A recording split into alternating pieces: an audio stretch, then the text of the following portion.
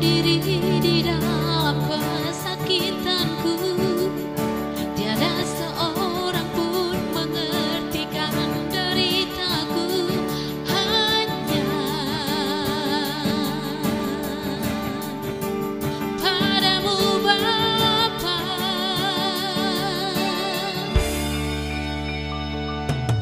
Saatku